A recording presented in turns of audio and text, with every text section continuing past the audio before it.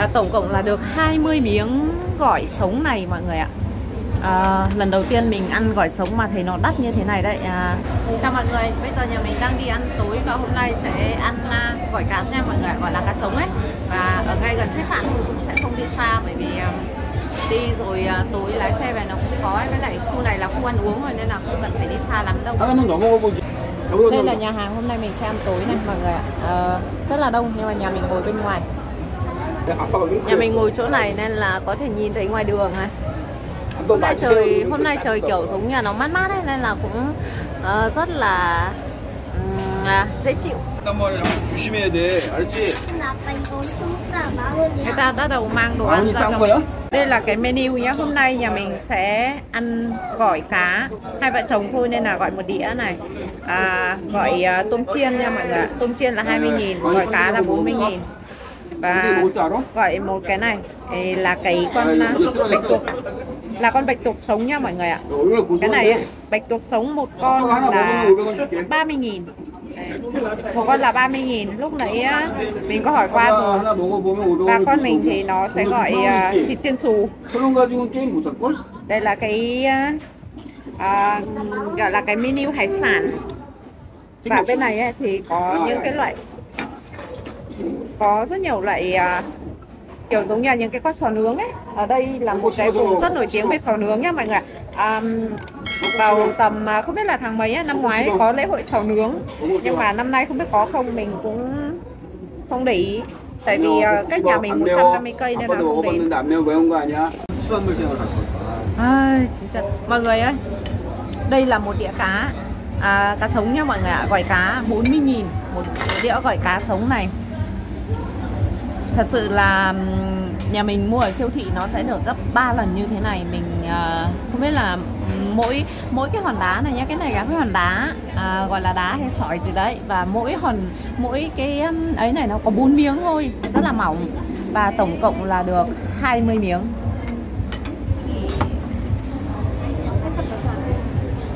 À, tổng cộng là được 20 miếng gỏi sống này mọi người ạ à, lần đầu tiên mình ăn gỏi sống mà thấy nó đắt như thế này đấy. À, thật sự là khi người ta bung ra thì hai vợ chồng rất là ngỡ ngàng.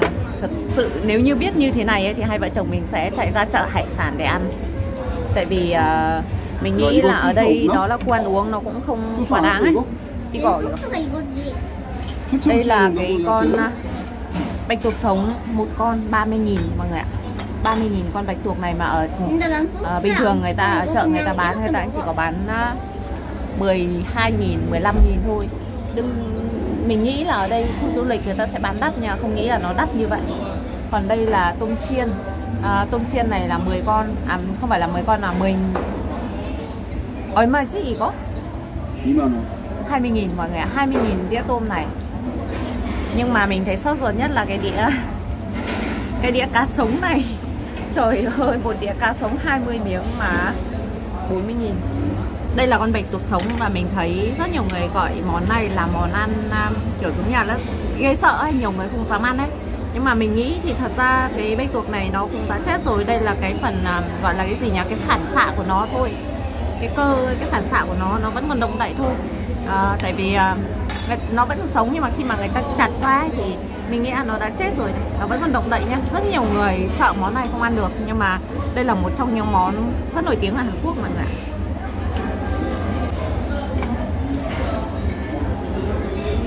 여기 어디서 오는 거야? Ồ 그래? món này kia 짜 많이 넣으면 걔는 이제 소금에다 꼬마고 그럼 되냐? món này 그 짜서 어떻게 짠 거? món này khi ăn ấy người ta sẽ chấm với á, dầu mè nha mọi người ạ. dầu mè với lại muối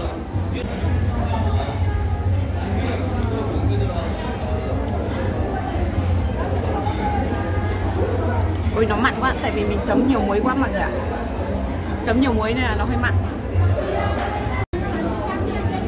ăn xong rồi nhưng mà quên không cho mọi người xem, đây là miếng à, gỏi ở đây nha. Miếng cá sống ở đây. Nó như thế này. Đấy. rất là bé luôn đấy. Đấy.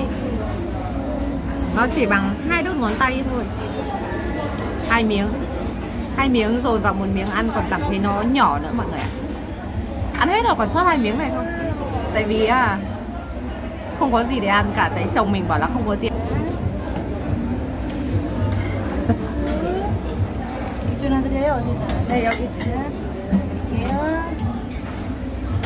đây là mì khai cúc su nha mọi người ạ. À, khai cúc su này thì có giá là 10 nghìn. À, nói chung là mì được. À, chưa ăn không biết ngon hay không nhưng mà nhìn số lượng là thấy được rồi. Còn mì tôm của chồng mình là 8 nghìn. Mì tôm hải sản nhé để xem có cái gì nhiều.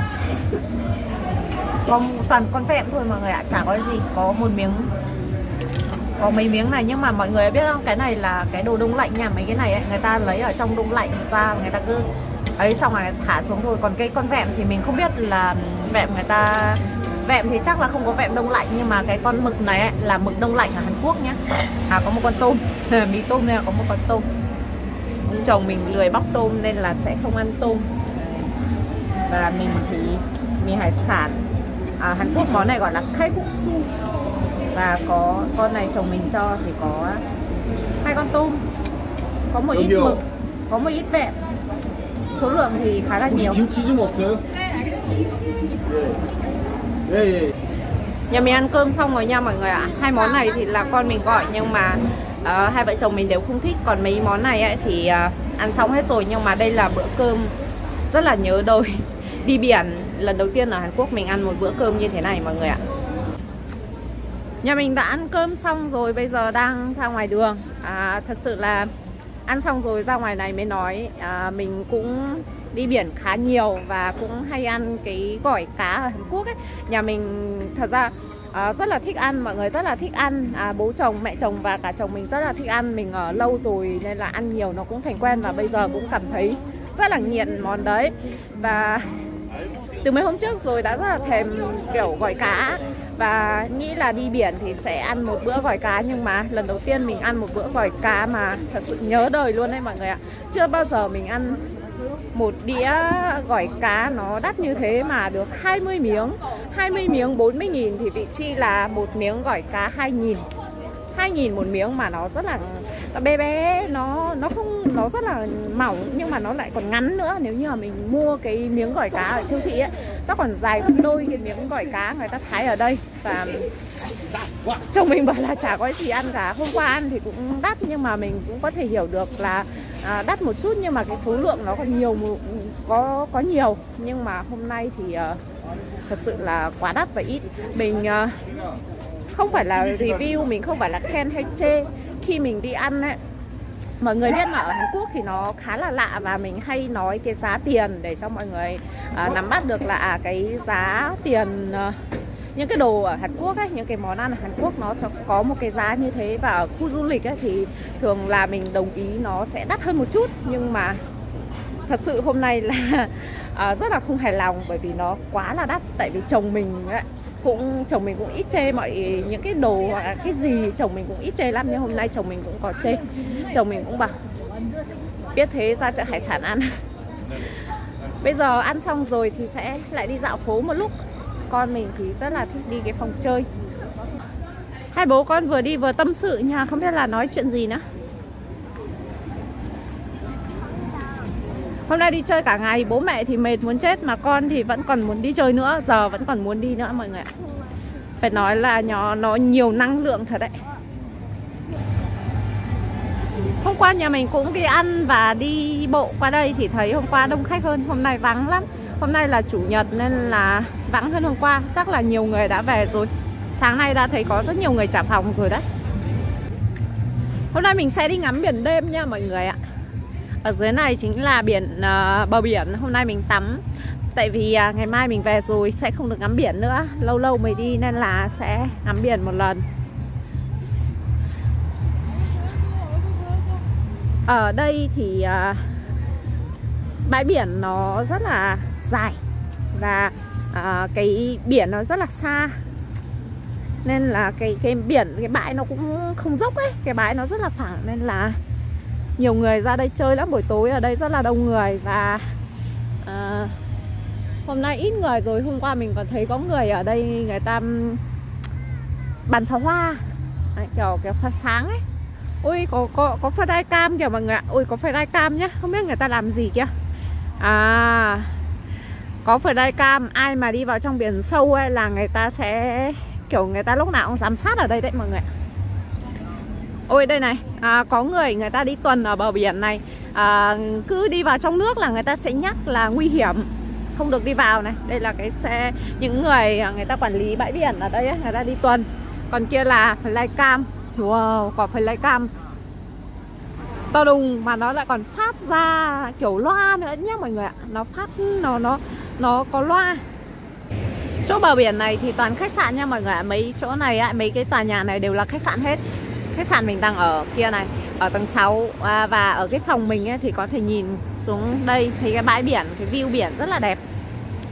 Lần này đặt khách sạn rất là ưng ý chỉ có món ăn là hôm đến đây ăn à, ba bữa rồi nhưng mà chưa có bữa nào cảm thấy uh, kiểu giống như là um, hài lòng bởi vì cảm thấy ngon bởi vì uh, nó đắt và nó không ngon. Nhưng mà được cái khách sạn rất là ưng ý lần này đi du lịch uh, thích nhất là cái khách sạn. Đây, mọi người nhìn thấy là cái flycam kia, nó có cái đèn dọi xuống đây. Ai đi vào trong biển ấy thì nó sẽ dọi xuống đây và nó sẽ nhắc nhở là không được đi vào trong này. Hay ha, lần đầu tiên mình thấy cái flycam mà nó có cái đèn dọi như thế này và có cả loa nữa, mọi người wow. Flycam ở Hàn Quốc thì mình thấy nhiều người à, chơi lắm. Cháu mình nó cũng chơi flycam và cái flycam của nó có những cái rất là đắt tiền. Nó không phải là chơi kiểu giống như flycam nó thích cái gì nó đi quay đâu mà à, uh, flycam đồ chơi ấy. Thường thì nó hay mang ra công viên chơi. Nhiều lúc mình cả nó cho mượn nhưng mà nó không cho mượn. Là tại vì mình cũng không dám lấy không mình không biết bay mình cũng không dám bởi vì khá là đắt tiền mọi người ạ. Nên là mình cũng ngại mấy chục triệu. Nhỡ mà hỏng hoặc là rơi xuống mình không có tiền đền nó à, buổi tối mà có rất nhiều người ra đây này. Wow. Cái xe này cái xe này mình thấy cái xe này ấy, mình thấy nó đi đi lại lại ở đây mấy chục vòng rồi nó cứ xem xem là có ai đi vào trong nước không ấy. Hôm nay đi ăn tối cũng không được vui bởi vì uh, bữa tối nó khá là bất ổn nên là không được vui cho lắm và đi dạo bờ biển. À, chồng thì không đi con cũng không đi tại vì à, hai người chê không đi. À, nhà mình ấy thì sở thích không ai giống ai chồng mình và con mình thì à, mỗi người một sở thích mình cũng thế kể cả ăn uống hay là vui chơi không có giống nhau nên là à, nói chung là nhiều lúc đi chơi cũng khá là cô đơn. Mình thì thích đi dạo bờ biển như thế này. À, buổi đêm hoặc là buổi sáng thì cũng rất là mình cảm thấy nó khá là thành thơi và có một cái gì đấy làm cho mình cảm thấy nó nhẹ nhàng và rất là thích. Nhưng mà cả hai người đều không thích mọi người ạ. Nên là mỗi khi đi biển ấy thì mình thường uh, đi biển đi bộ à, bờ biển này hoặc là đi chơi như thế. Mình rất là thích những cái chỗ công viên những cái chỗ nào mà đẹp đẹp ấy còn à, chồng con thì không thích, nên là sáng nay mình cũng đi biển một mình nhá mọi người ạ. Sáng nay mình cũng ra đây ngắm bình minh. Biển này là biển phía tây, không có bình minh, nhưng mà sáng nay mình cũng đi một mình. Hôm nay thì là tối thứ hai cũng là tối cuối cùng mình ở biển này. Đây là biển Daecheon ở miền trung của Hàn Quốc và cách nhà mình khoảng 150 cây. Ngày mai thì nhà mình sẽ lên đường để về nhà. Hôm nay là đêm cuối cùng ở đây rồi nhưng mà mình cũng sẽ đi biển à, đi dạo đây một vòng à, gọi là mình rất là yêu biển nên là mình uh, muốn đi dạo ở đây. Uh, video thì mình sẽ dừng ở đây và cảm ơn tất cả mọi người đã xem video của mình. Uh, mọi người hãy cho mình xin một like đăng ký kênh để ủng hộ mình. Cảm ơn tất cả mọi người nha. Hẹn gặp lại mọi người ở những video tiếp theo.